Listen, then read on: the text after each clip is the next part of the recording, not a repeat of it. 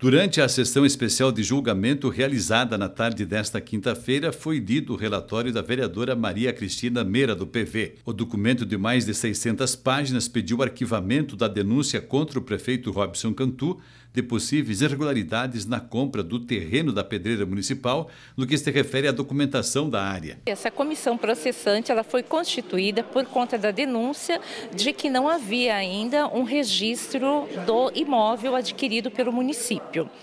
Então, essa nossa comissão, né, por três membros, nós fomos investigando, nós fomos em diligência para verificar os fatos e a partir do momento que o, que o terreno, que a escritura foi registrada, então nós já demos por improcedência a denúncia que foi feita pelo nosso munícipe. Também integravam a comissão processante os vereadores Marcos Marini, do Podemos, e Tânia Kaminski, do PP, que foi a presidente. Durante as falas, os vereadores já declinavam o que seria a votação. Dos dez vereadores presentes, nove votaram com o relatório, ou seja, pelo arquivamento da denúncia contra o prefeito Robson Cantu. O advogado de defesa tinha direito de usar até duas horas para seus argumentos, mas como o relatório foi favorável, falou apenas alguns minutos. Os argumentos da defesa, em larga medida, coincidiam com os do, do próprio relatório, né? Caminhavam no mesmo sentido, em uníssono.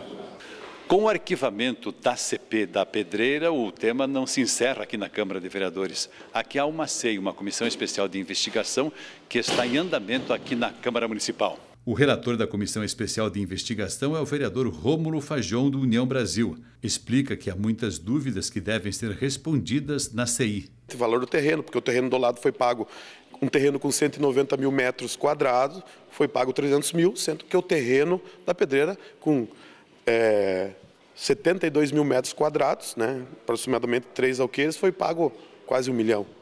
Por exemplo, essa é uma das nossas dúvidas. Eu quero saber, né, como relator, eu quero saber por que, que teve essa diferença de valores. Né? Alguém está sonegando?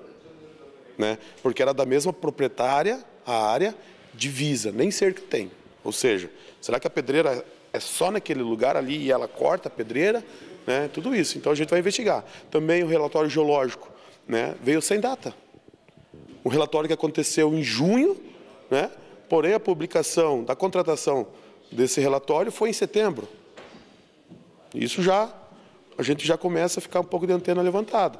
Né? E aí isso é o, o dever do, do, do, vereador, né, de fiscal e legislar. E a gente, como relator da SEI, eu preferi me abster para a gente ainda não fazer alguma coisa errada nesse momento do voto. O terreno em questão é esta área de 72 mil metros quadrados, pouco menos de três alqueires, na comunidade de Linha São Caetano, interior de Pato Branco. A área foi adquirida pela prefeitura pelo valor superior a 900 mil reais.